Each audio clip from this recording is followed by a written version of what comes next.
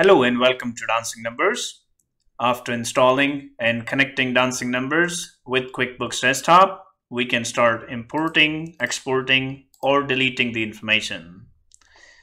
To import any type of list or transactions supported by QuickBooks Pro, Premier, or the Enterprise Solutions, we can click Start.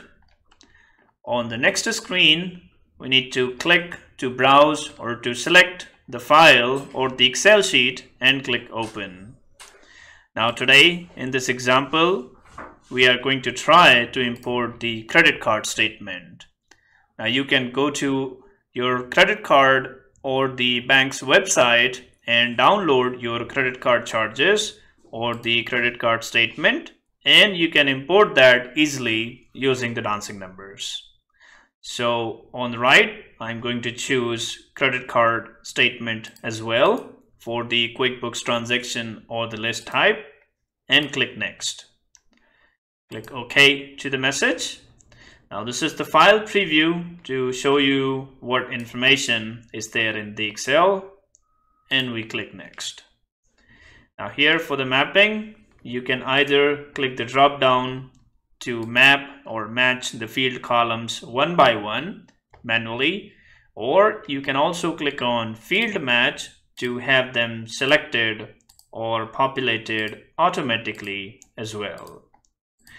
And then also if you would like to save this mapping you can click on save as and you can use the saved mappings by clicking on load map in future whenever you would like to import the next credit card statement and click next. Now this is the file updates screen which tells us it's ready to be imported. We go next. Now the missing references screen will check if there is any new account, new pay in your Excel sheet. If there is nothing new, we can proceed further to click on import file and click OK. Now as you see, the file or your credit card transactions or the credit card statement has now been imported successfully in QuickBooks Desktop.